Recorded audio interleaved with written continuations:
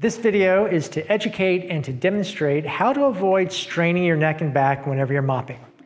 We all mop. Let's talk about what we do wrong. When we're mopping, we're trying to get through the chore as quick as we can, all right? So what do we do? We take these big strokes with the mop, trying to cover as much surface area of the floor as we can. As we reach, you see my back? I'm bending at my waist, bending to reach out, and I'm bending at my back, which puts all that pressure at the small of your back. Another thing we do wrong when mopping is, of course, we need to rinse out the mop head occasionally. So we go, rinse out the mop head, and what do we do? We have to bend over to squeeze out the water of the mop head, or rinse it out however we need to, whatever mop style you have.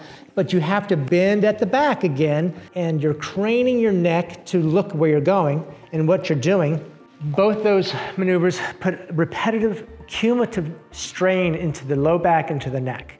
So how do we do it right? How do we avoid that? We avoid those long strokes when you're mopping. So you take shorter strokes like so. You see, I don't have to bend over.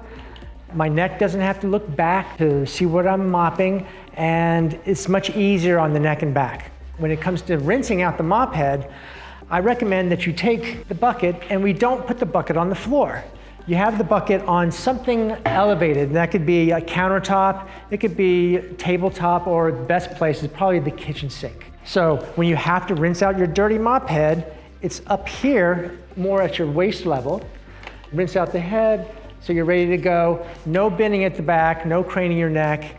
Problem solved. This is the best way to mop and to avoid a lot of strain into your neck and back.